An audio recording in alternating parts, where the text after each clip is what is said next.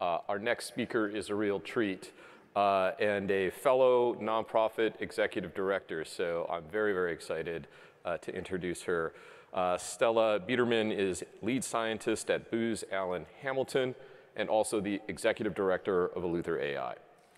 Over the past several years, Eleuther AI's work has focused on making cutting edge AI technology more widely accessible through supporting the release of several of the world's most powerful generative models such as GPT Neo X, Bloom, OpenFold, and more. Recently, her focus has shifted towards building a better understanding of how and why these models actually work. It turns out we don't actually know that, and that would be good information to have uh, in order to instill desirable behaviors uh, and limit undesirable behaviors in these types of models. Uh, drawing on her experience developing several of the world's most powerful open source generative AI technologies, Stella will discuss why open source values remain essential for artificial intelligence and what role the open source community can play in the continuing unfolding of this technology. Please welcome to the stage Stella Biderman.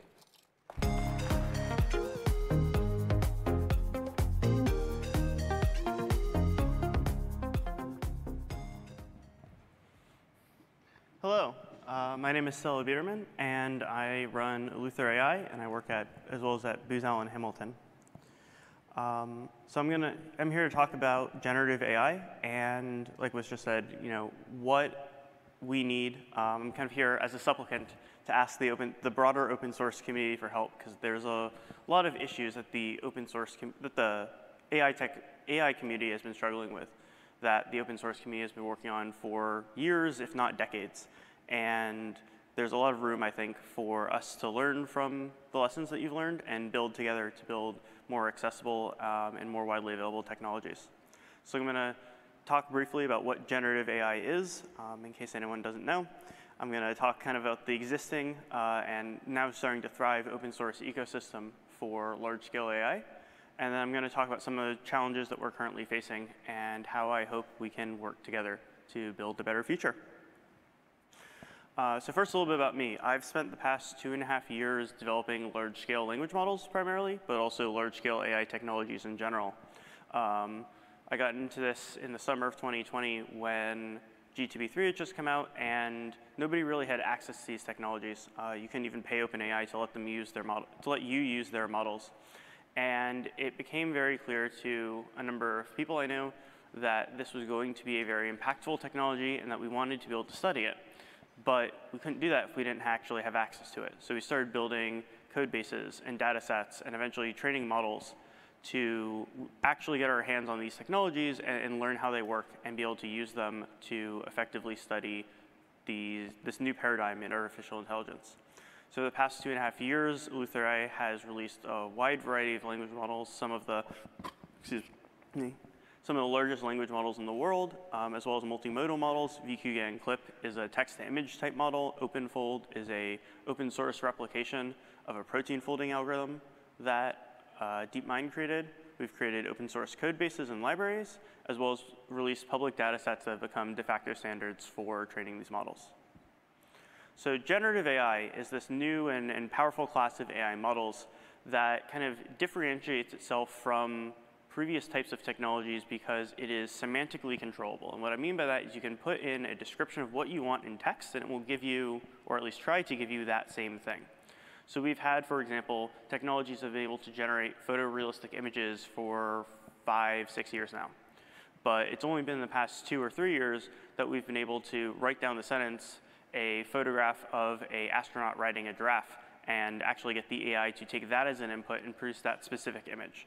And this opens up a lot of usability and a lot of applications for this technology that were previously inaccessible.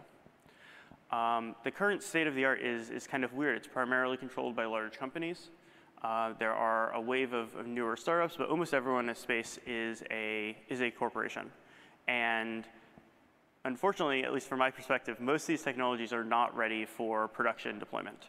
Um, that is an unpopular position, uh, but that, uh, yeah. Uh, so there's, there's, a couple classes of these models. Uh, most of my work is on text models, but there's also multimodal models that take image, uh, stuff from one domain and transfer it into another, such as text to image or text to audio. Uh, people have had a lot of success developing domain-specific models. So these are models that don't work on, on normal kinds of inputs, but generate proteins or computer code or formal specifications for design. Uh, one of my colleagues recently put out a paper about text to architecture.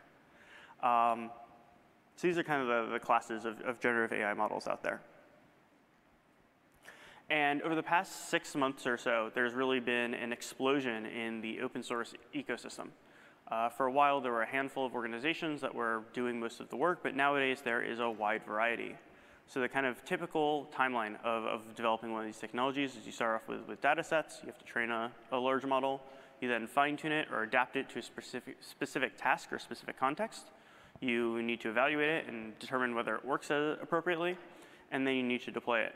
And nowadays, there are many options for every stage of this pipeline um, that are open source and, and widely used, which is really wonderful.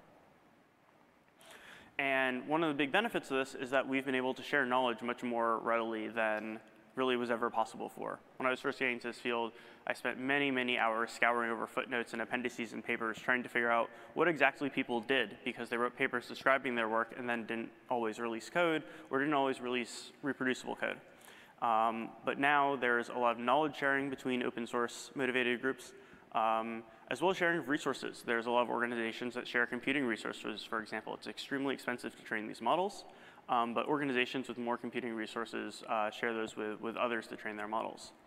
And another really wonderful feature is we've built an interoperable open source ecosystem where people are able to take stages in that pipeline developed by other organizations or models or data sets developed by other organizations and just plug them into what they're doing. So this is a, a very small graph of a piece of the ecosystem, but really shows how different organizations are, are building on and using technologies built by previous ones. So each, each stage here uh, uses the, the things above it. And you see you know, a half dozen organizations, a mix of nonprofit and for-profit companies uh, representing five different countries. And so there's a large amount of interoperability in the open source ecosystem now, which is really wonderful. Uh, but there are definitely some issues that we're struggling with. And that is, I think, really the key to, to why I'm here and, and, and what I'm hoping that we can achieve together. Broadly speaking, there are three issues, uh, or three types of issues that the open source community is struggling, that the open source AI community is struggling with right now. Um, those are challenges in maintaining code, uh, challenges in ethics and deployment of these technologies, and challenges in law, policy, and regulation.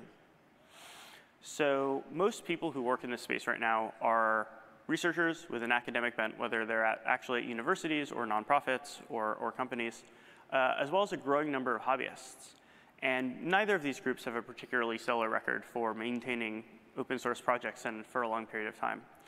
Uh, so, you know, speaking for my organization right now, uh, one of our widely used code bases is maintained by less than one FTE of work. Uh, it's used by a half dozen companies. It's being run on the US government's largest supercomputer to train language models. We use it almost every day. And we really haven't had the, the bandwidth or the, the, the, the contributions to kind of maintain it as much as we'd like simply for manpower reasons. Um, similarly, code is often, you know, even when companies are the ones pushing these uh, software libraries, they often have internal and external versions, which is another big problem. So when they finally get approval to release their, their things, it's something that they've built on top of what was open source previously for six months. And then you have to figure out how to make what everyone else has been building work with the new version that just came out. And this is one of my personal nightmares. Uh, and another interesting thing is that whenever I talk to people about this, there's a strong perception that there's a big barrier of entry, that you need to know a lot about AI technologies, about large language models to contribute to these kinds of libraries, and to help maintain this ecosystem. And that's really not true. There is a huge amount of work to be done in code maintenance, in evaluation, that doesn't really require much or any expertise in large language models. A lot of the people who maintain critical pieces of the open source ecosystem are undergraduate students, a lot of people who maintain critical pieces of the ecosystem are hobbyists. And you know, if you have expertise in Docker, like there, there is a concrete issue that I have not been able to solve for six, uh, six weeks because I just don't have someone with the right Docker expertise uh, on my staff right now. So there's, there's a lot of issues that are addressable with a wide variety of software development expertise, database expertise, Kubernetes, Docker, et cetera. And so even if you're not an expert in AI, if you're interested in helping us out in maintaining code, there's a lot of different things that people can be working on in ways that you can make a real contribution. There's also a lot of debates around kind of the ethics and how you should deploy these models. Um, so there are debates and lawsuits about licensing, about ethical use. Um, the, the studies on how to evaluate and how what kind of standards for reproducibility um, people should ascribe to are very hotly debated and really need a lot of work so that we can actually get to a place where people can take each other's work and adapt it and use it reliably instead of having to spend weeks or at times even months trying to figure out how to make my code do the same thing that someone else's code did. Um, and really, like open source, the ethics of open source has played a, a, really critical role in these conversations. And I think it's really important that the broader open source community who's been working with these kinds of questions for many, many years kind of share their learnings, their expertise, and their perspectives on how to license, use, deploy these technologies ethically, and what standards uh, we should be holding ourselves to as a community. Uh, and kind of the last, the last area is, is about law and regulation. So governments are, are slowly starting to notice that some people are getting excited about these uh, large language models and related technologies. But the, it's, it's been a slow process uh, to begin paying attention, to begin regulating. And oftentimes the regulation is not aligned with what I would view to be kind of the, the philosophical perspectives of the open source community at large. So as one example, there's a, a, law currently being working through the European Parliament that doesn't draw a distinction between open source releases of AI models and commercial deployment of large-scale AI models, um, which in terms of the regulations and compliance and rules that are kind of put on you.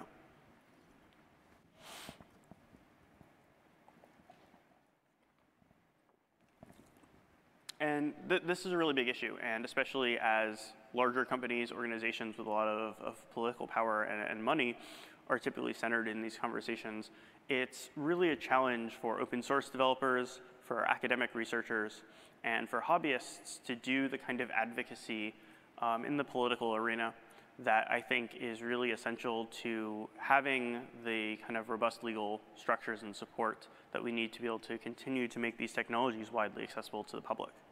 And you know, this is something that the open source community has struggled with for, for many, many years and is an area where I'm hopeful that organizations like the Linux Foundation, um, the Open Source Initiative, and other organizations and foundations that kind of support open source development are able to play a critical role in helping people advocate for the needs of our community and help us kind of reach out to policymakers, lawmakers, and get our voices heard. Thank you uh, you know, there's, I think that the world of AI is in a really interesting place right now. Uh, six months ago, there were very few people training and publicly releasing language models or related technologies, generative AI technologies. And nowadays, there's close to a dozen. There's been a huge explosion in public interest in this technology, and there's been a huge explosion in organizations that are willing to invest in the open source ecosystem. So I really think that right now we're at a critical time in terms of the developmental work, in terms of the norm building, community building. And I think it's really essential that we don't go off and try to invent all of this ourselves. Uh, most, of the, most of the people working in this space right now are, like I said, researchers and hobbyists, people who don't necessarily have the years of experience in open source development and software development and maintenance. And being able to learn from you all uh, the lessons that you've learned over the past couple decades is, I think, really essential to making sure that we end up in a place that is sustainable and operates for the public good. Because, you know, I very much don't want this to end up being a commercial technology that's hidden behind APIs that individuals, that researchers don't have access to and don't have kind of the ability to build on and use. And that it's really essential that we find ways to make this a, a sustainable movement and promote its continued existence and success. Uh, thank you.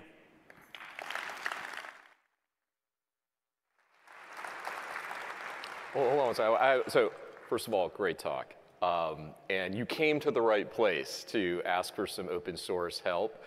Uh, you know, I, I was struck by a lot of developers tell me, well, you know, uh, can we really keep up, right, with these big commercial efforts and proprietary efforts and all of that? And speaking as someone who's been working at the Linux Foundation for nearly 20 years, and every single one of those years, I heard, you'll never keep up.